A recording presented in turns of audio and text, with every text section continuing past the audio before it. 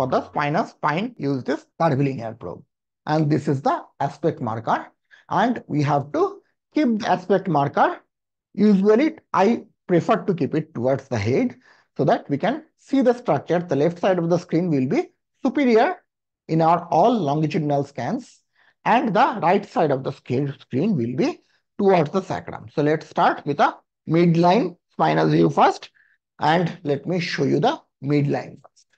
So see, when I am putting like this at the midline, we can see the spinous processes. So this is the midline view. Let me start from the lateral side. Now what we are doing, from the lateral side, I am just coming towards the midline. Gradually, I am coming towards the midline. This is from the right side. And when I am coming from the middle, middle from the, no, no, no, don't move. So first we'll see some finger-like projections. So this is the section of the transverse processes. And in between this, you can see the intertransverse ligament and slightly below. I'm just freezing and drawing. Okay. So these are the intertransverse ligaments. And below it is the psoas. And this you cannot see anything because of the acoustic shadowing. So this looks like a trident and this is known as the trident view. Now we are from the trident view, we are coming farther in. So let me back and move to the trident view. You can see the trident view now. Now from this trident view, I am moving slightly more in. So what we are expecting, you should expect then you then we will tell that what, what it is. So what you can expect it the next view? Uh, yes. Towards the head, this projection is from the articular, uh, this facet joint. And then there is another hump, there is another hump. These are the mammillary bodies. And this is known as the articular pillar views. Now, as we come slightly more towards the center from this camel view, as we move slightly more, then you see now the picture changes. So now it is looking more like a head of a horse or it is also known as the horse head view. So I'm just increasing a little bit. Okay.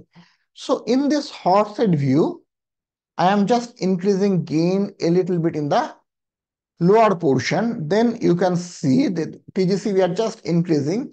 Then you can see some echoes from this anterior portion of horse head. They are going in. Okay. I'm just trying to increase the depth to show you those echoes better. See, now can you see these echoes? Especially see in the right side of the screen, you can see in between two horse heads. Some echoes are going in towards the anterior side. They are reflecting back from the posterior side of the vertebral body. So this is the, see, here it is clear. Now portion also we can make it clear. Okay. So this is the anterior complex. Above also it is coming. So it is a little bit faint, but it is coming. Depend on you will move up, then it will be clear. So you can see now the all the anterior complexes will come here, so that we can count at this level. So in the paramedian sagittal view, we can count. Now, if we want to increase this, okay. So by seeing this anterior complexes, we can count the vertebral level.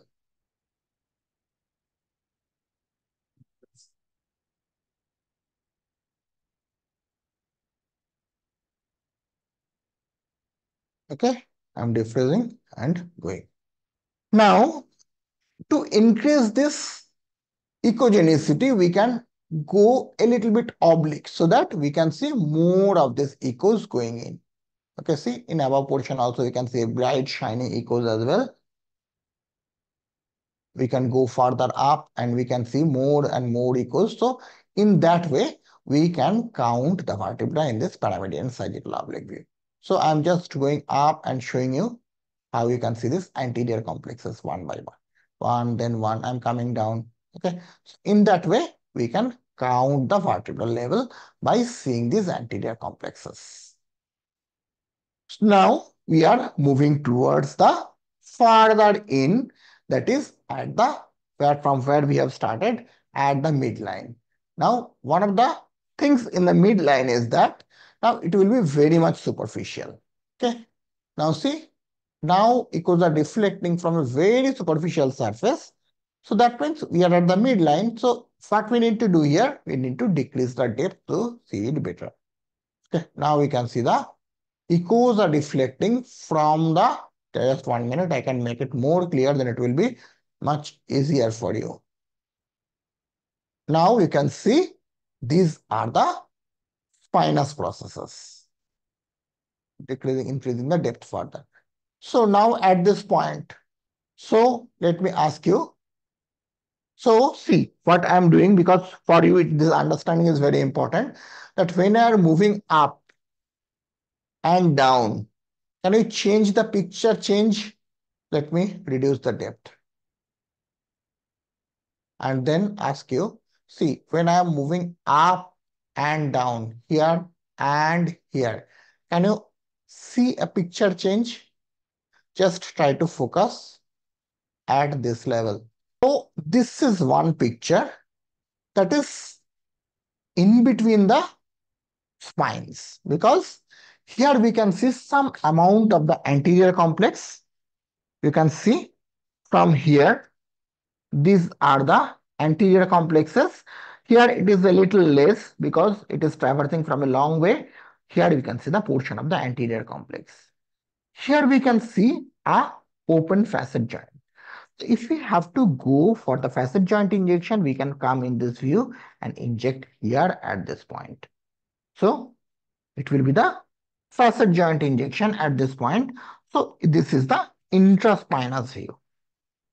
Now, if you want to go for the spinous process view, just try to follow this picture and move slightly up when the echo below is vanishing.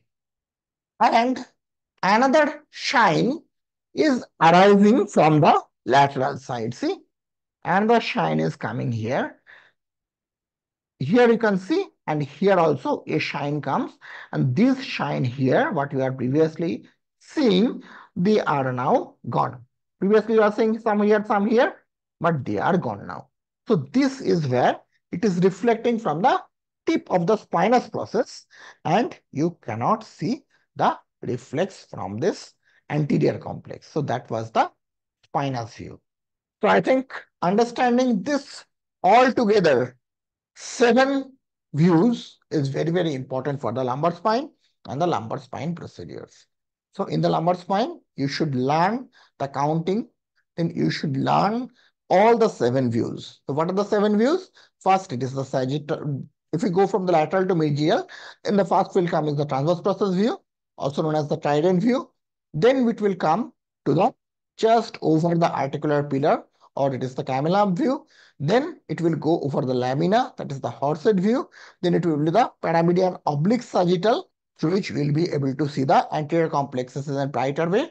It will help in counting as well. That is the paramedian oblique sagittal view. Then you can go for the sagittal view, median sagittal view that I have shown. These are five are the longitudinal views. And these two, spinal and the interspinous, these are the transverse views. So counting these seven views